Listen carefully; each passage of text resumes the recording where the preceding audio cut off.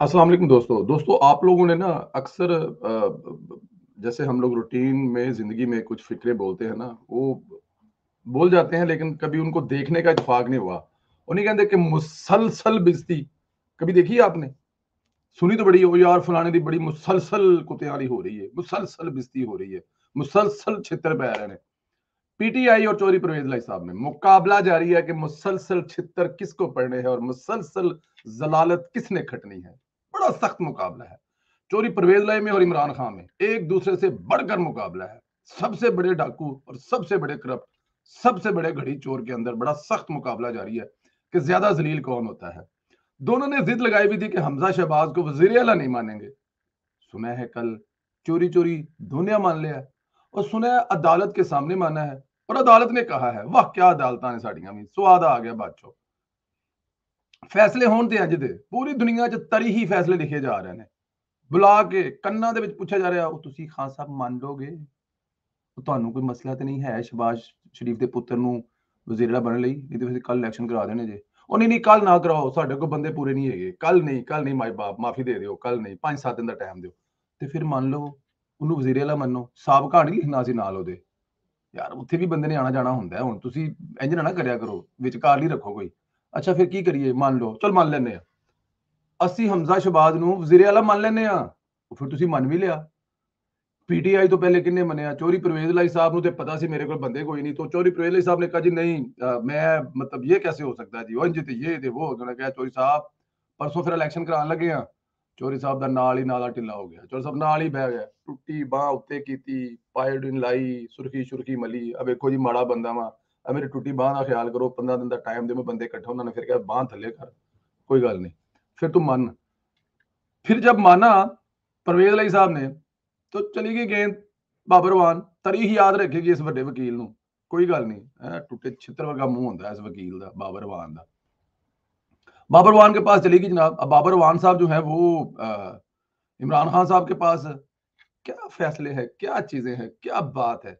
ਬਾਬਰ ਮਾਨ ਸਾਹਿਬ ਕਹਿੰਦੇ ਜੀ ਇਮਰਾਨ ਖਾਨ ਸਾਹਿਬ ਉਹ ਇਸ ਤਰ੍ਹਾਂ ਕਹਿ ਰਿਹਾ ਜੀ ਕੀ ਕਰਨਾ ਹੈ ਇਮਰਾਨ ਖਾਨ ਸਾਹਿਬ ਕਹਿੰਦੇ ਨੇ ਪ੍ਰਵੇਦ ਲਈ ਨੂੰ ਕਹੋ ਅਸੀਂ ਨਹੀਂ ਮੰਨਦੇ ਗਏ ਉਹਨੇ ਕਿਹਾ ਜੀ ਪ੍ਰਵੇਦ ਲਈ ਸਾਹਿਬ ਮੰਨ ਕੇ ਬੈਠੇ ਨੇ ਅਗਲਾ ਲਿਖ ਕੇ ਦੇ ਚੁੱਕਿਆ ਹੈ ਅੱਛਾ ਜੀ ਪ੍ਰਵੇਦ ਲਈ ਮੰਨ ਗਿਆ ਜੀ ਮੰਨ ਗਿਆ ਤੁਹਾਡੇ ਕੋਲ ਕੀ ਚੁਆਇਸ ਹੈ ਕੋਈ ਚੁਆਇਸ ਨਹੀਂ ਜੀ ਤੇ ਫਿਰ ਪਰਸੋਂ ਇਲੈਕਸ਼ਨ ਹੋਣਗੇ ਤੇ ਫਿਰ ਲੋਇਆ ਕੰਮ ਹੋ ਜਾਏਗਾ ਫਿਰ ਹਮਜ਼ਾ ਸ਼ਬਾਜ਼ ਪਰਸੋਂ ਜਿੱਤ ਜਾਏਗਾ ਔਰ ਫਿਰ ਤੁਹਾਡੇ ਕੋਲ ਕੋਈ ਚੁਆਇਸ ਨਹੀਂ ਹੈਗੀ ਫਿਰ ਤੁਹਾਡੇ ਕੋਲ ਇੱਕ ਹੀ ਚੁਆਇਸ ਹੋਏਗੀ ਕਿ ਤੁਸੀਂ तहरीक अदम इतमाद लेके आए तो वो कभी कामयाब नहीं होगी इसलिए बेहतर है कि इसको थोड़ा सा लटका लेते हैं बंदे शंदे खिंच लेने हम तो बेहतर यही है कि हम अभी वजी अला मान लें हमजा शबाज को और उसके बाद फिर कुछ करते हैं, प्रवेद को मिलते हैं, साथ में को आगे पीछे कर कर आके लेकिन अगर आपने परसों इलेक्शन का कह दिया तो फिर कुछ नहीं हो सकता, फिर Hamda Shabaz but anyhow सबसे बड़ी खबर तो ये थी कि हमजा शबाज को परवेज लई ने और इमरान खान ने वज़ीर अला पंजाब तस्लीम कर लिया है। अब उनका पिछला जो इलेक्शन है, वो लीगल करार दिया गया है।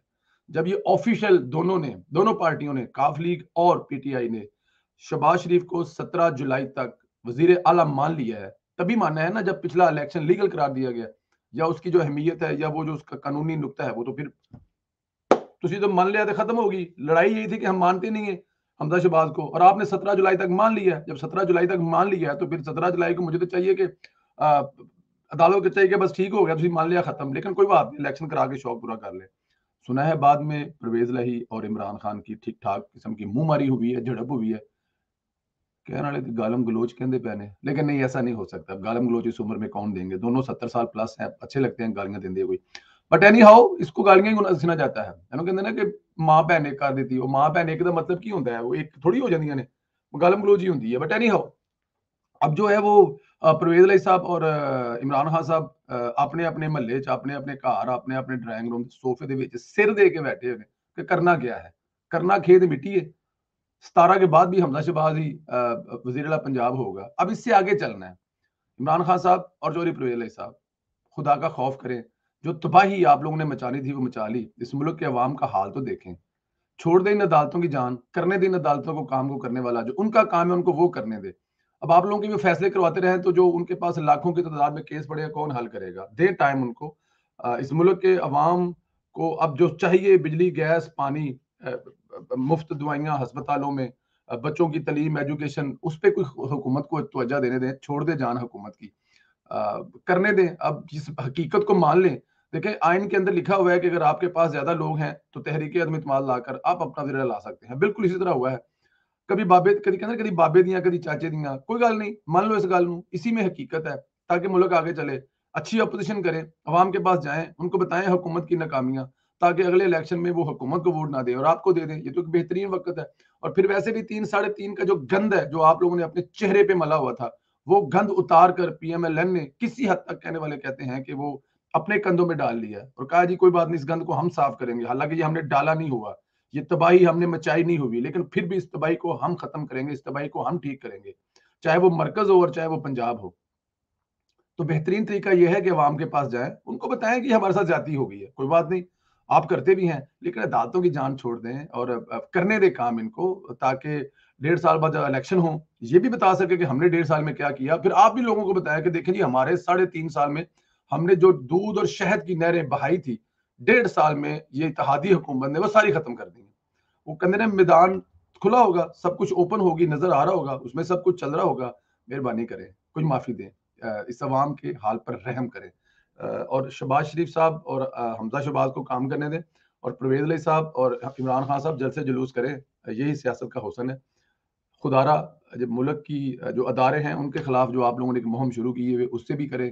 अब किसी हद तक जो फौज के खिलाफ कर रहे हैं, उसी हद तक अदालतों के खिलाफ भी कर रहे हैं। अदालतों को भी आपने हर दूसरे दिन अखाड़ा बनाया होता है। और परवेज अली साहब ऐसे, अल्लाह ताला की ज़ात आपको ज़िंदगी से दे।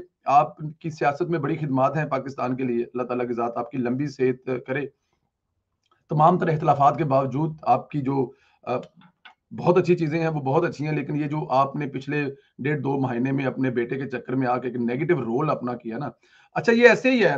पता है, हम लोग फ़िल्में देखते थे बचपन में, अमरीश पुरी साहब हमेशा एक नए रूप में रूप गेटअप में आते थे। और उनकी शक्ल देखते ही शक्ति कपूर साहब एक नए रोल में रोल में, नए गेटअप में थे।